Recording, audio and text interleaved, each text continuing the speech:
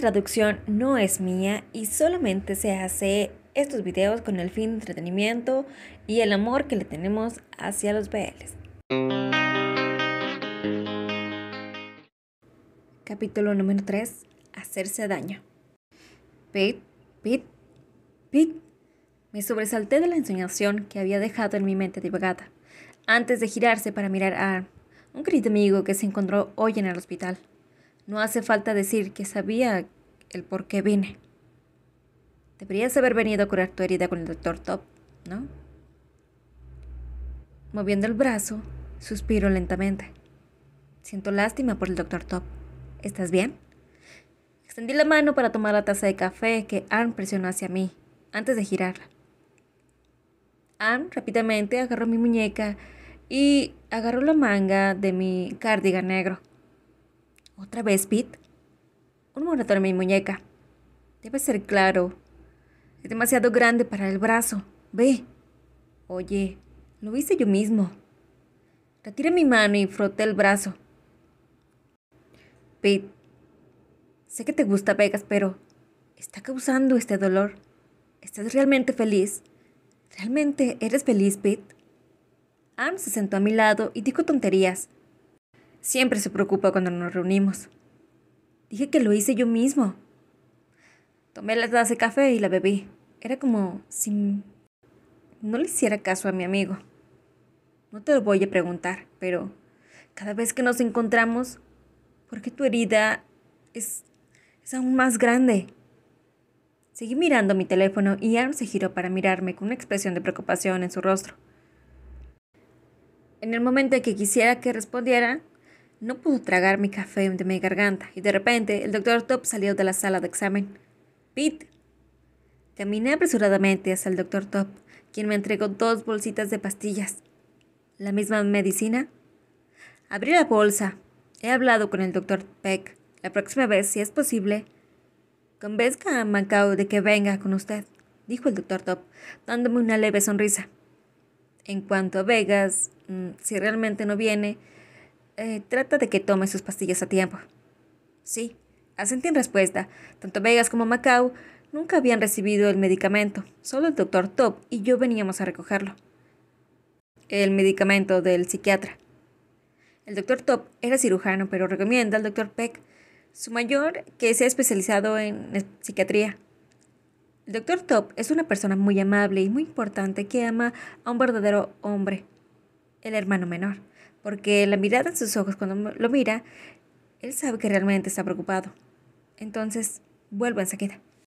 Levantó la mano para presentar sus respetos al doctor Top. Luego, se despidió de Arm, quien señaló como una mano con una señal despidiéndose afuera. Pete. Antes de darme la vuelta y salir del departamento de psiquiatría, el doctor Top me llamó primero. Relájate un rato. Venecia es traviesa. Esto, le di vitaminas a Pete para que se nutriera. Doctor Top me entregó un frasco de píldoras de vitaminas. Sonreí ampliamente. Gracias. Le agradecí de nuevo antes de salir del hospital. Esta vez estaba muy estresado y mi estrés se acumuló. El ambiente, la gente, las emociones. Todo es como si fuera solo yo. Me volví muy ansioso, totalmente paranoico, sin darme cuenta de qué pasó desde que manejé y estacioné mi auto enfrente de casa. Rodeado de guardaespaldas, pero el ambiente no es el mismo. Todos los guardaespaldas eran miembros de la familia principal, que mantuvieron sus ojos en Vegas y Macao sin ninguna privacidad. Todos los guardaespaldas de la familia menor fueron mantenidos casi en totalidad por los vicepresidentes de la familia principal o huyeron juntos. Dejó solo al idiota que solicité. Pero estoy familiarizado con los rotos familiares de los guardaespaldas enviados por la familia principal. No porque tuviera miedo de sentarme incómodo, pero soy bueno, temo que Macao, Venecia y Vega se sientan como prisioneros. No quiero que se sientan así, no quiero que se sientan mal por lo que hayan pasado. Tenía mucho miedo de lo que serían. No sabía qué protegería a las dos personas que amo, incluyendo a Venecia por cuánto tiempo. O habría un día en que la familia principal quiera deshacerse de estos hermanos. Realmente no sé qué debo hacer. Pete, Pete, pedí una pizza hoy. Entré a la casa y vi a Macao jugando en el teléfono y saludándome sonriendo como siempre. Sí, ¿tienes tarea hoy? Fui a abrazar a Macao que ya tiene abiertas las manos para recibir mi abrazo. Le sonreí levemente a Macao. Ahora amo a quien es un verdadero hermano. No es un chico malo, solo quiere amor y cariño. ¿Venecia? Lo veo vigilando ahí. Macao levantó la cabeza para pedirle pizza, para decirme que también pidió bolas de queso en caso de que Venecia quiera. Palmé la cabeza de Macao con cariño, incluso el ambiente. Qué feliz será cuando los cuatro estuviéramos juntos. Pero, mirando alrededor de la casa, era incómodo ver a la gente observándonos. Entonces, subiré y veré a Vegas primero, le dije a Macao, quien sonrió y caminé hacia la habitación y me dispuse a sonreír ampliamente a mi amante que hoy tenía citas, para reunirse con su cliente y trabajar duro de nuevo como siempre. Tan pronto como abrí la puerta, mi sonrisa se desvaneció lentamente. ¿Qué? Me apresuré a agarrar el brazo de mi amante que estaba a punto de romper la vitrina de mi oficina. ¡Quítate de encima! Sostuve a Pegas con fuerza en mis brazos hasta que sus ojos feroces se volvieron hacia mí y me empujó fuerte. ¿Qué pasó? Corrí hacia Vegas para detener todas sus acciones. Pertenencias en la habitación esparcidas por todo el piso. Vegas se me resiste al extremo y el alboroto nunca... no para. Maldita sea. Vegas grita en voz alta, mientras agarra mi cabeza como si estuviera se volviéndose loco. Déjame salir. Trato de alejarme a mí también. Oh, tío carajo. Vegas estaba aún inconsciente. Barré todo lo que tiene adelante, hasta que la miniatura de sobre escritorio, incluso la computadora. No hagas esto, no lo hagas. Mantén la calma, Vegas. Traté de, de abrazar a Vegas por detrás y le pido que recobrara el sentido lo antes posible. Es un mentiroso. Odio a papá. Es un mentiroso. No sé de qué está hablando, pero odia a su padre. Me culpa por todo lo que hizo en mi vida y me cago. Y está así. Entiendo. Vegas está tratando de ser feliz, pero en el fondo de su corazón es como si la familia principal lo mantuviera cautivo. ¿Cuándo debería ser liberado y libre? Pero tuvo que soportar trabajar para la familia principal. Es difícil.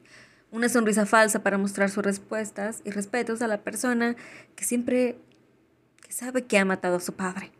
Vegas, te lo ruego, te prometo, te prometo que te liberaré.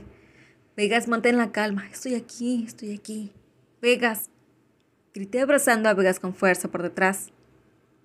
Odio papá. Vegas se calmó un poco, su voz temblaba como un hombre enojado. Está bien, estoy aquí, Vegas. Lo abracé fuertemente, con todo el miedo, el cuidado, la ansiedad, el agotamiento y el amor que tenía. Vegas me quitó la mano lentamente y se volvió hacia mí. Los ojos siguen siendo muy, muy agresivos, pero este es el Vegas que conozco muy bien. Entonces, ¿qué tendrás para mí? Cuánto me duele. Antes de que Vegas terminara de hablar, me apresuré. Doy la bienvenida a todo el dolor, si te hace mejor.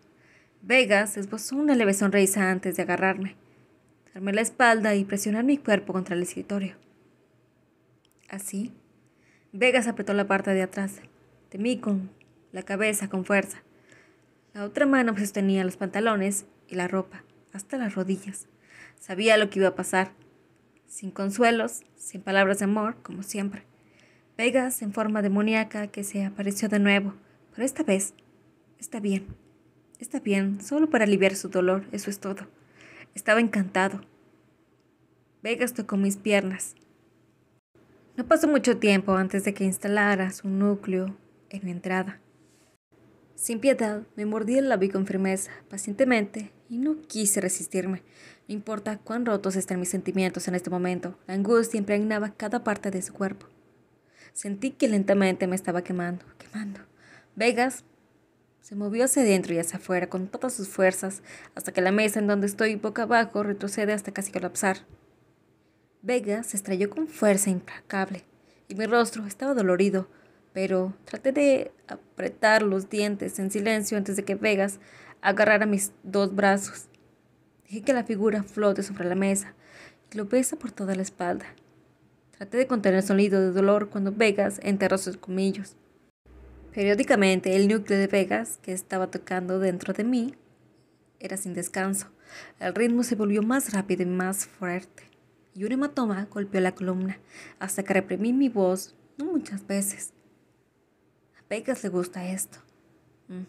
Vegas se acercó hasta mi espalda baja, estuve entumecida por el dolor. El sonido de la respiración entrecortada y los gritos de Vegas resonaron por toda la habitación, como desahogándose. Todo mi corazón salió hasta el final. Bien, buen trabajo, bebé. Vegas tiró de mi brazo y sostuvo mi cuerpo cerca de mí. Creció más y le susurró al oído con una voz fría, antes de acurrucarse en el rincón de mi cuello y lamer las orejas hasta que se me puso la piel de gallina por todo el cuerpo, moviendo sus caderas. Me estrellé contra él y dejé caer mi cuerpo contra el escritorio de nuevo, sudando por todo mi cuerpo. Con la respiración rápida parecía que estaba a punto de asfixiarme. Vegas tomó un cigarrillo y lo encendió. El humo se esparció por toda mi área más sensible. En cuanto más nicotina entra en mi cuerpo, Vegas movía sus caderas salvajemente hasta que mis piernas temblaron y no podía soportar. Pete. También Pete. Pete. Vegas llamándome por mi nombre. Lo que sea que estaba en su mente lo ha ablandado. Mucho ahora. A medida que los cigarrillos se acabaron, Vegas se retorció antes de librarse, hasta que me sentí pegajoso. Listo, dijo Vegas con una voz entrecortada y deslizando el eje de su cuerpo. Es mejor, ¿no? Me levanté y me volví a vestir. Vegas Asintió antes de que mis piernas se cansaran y cayeran al suelo. Mis manos sostuvieron el cuerpo, pero no pude encontrar un lugar para sostenerlo a tiempo. Accidentalmente, rozó el cenicero de vidrio contra el piso y se dispersó hasta que hubo un fuerte ruido. ¡Ay! Y con mi descuido, haciendo que mis pies atraviesen el cristal. En serio. Vegas, que estaba relajado, su estado de ánimo se detuvo. La mirada en sus ojos comenzó a cambiar. Furioso de nuevo, Vega se agachó a mi lado antes de tocar la sangre que brotaba en su dedo. Lo miró en estado de shock, alternando conmigo. Vegas, está bien. Vegas, cálmate. Vegas apareció a tambalearse de nuevo y rápidamente lo agarró con fuerza. Sangre, disparo. Sangre, no. Vegas gritó en voz alta y supe de inmediato que Vegas no podía detenerse esta vez. Rápidamente dejé ir a Vegas y tuve que ir a recoger la bolsa de medicamentos desechada frente a la puerta. No pasó, Vegas. Vegas volvió a negar con la cabeza, gritó en voz alta, con la locura de la que antes. Tomé la jeringa y lo inyecté. Terminé todo hoy. No. Vegas se hundió en el suelo y lentamente lo sostuve en mi brazo. Lo sostuve con fuerza.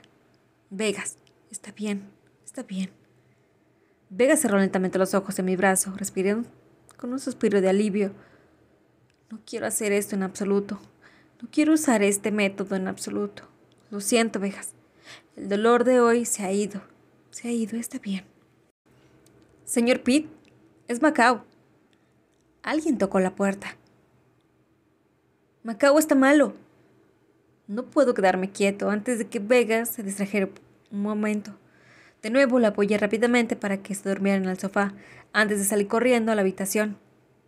¿Qué pasó con Macao? Macao se está cortando la muñeca. Al final de esa frase del guardaespaldas estaba casi inconsciente. Fui rápidamente a la sala de Macao. No pasó mucho tiempo para que viniera todos los guardaespaldas. Mi corazón latía hasta que casi explota. Corrí hacia el guardaespaldas para que entrara y levantara a Macao y lo recogí. Corrimos por la casa hasta el coche lo más rápido posible. Pete, me encuentro con el guardaespaldas bajo la misma expresión de asombro que yo.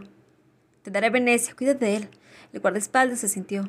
Rápidamente llevé a Macao al asiento trasero. Los guardaespaldas lo enviaron al hospital lo antes posible. Macao, estoy aquí. Macao, no te preocupes. Estoy aquí. Le puse un paño ensangrentado en la muñeca y traté de llamar a Macao para que recuperara la conciencia todo el tiempo. No te preocupes, Macao.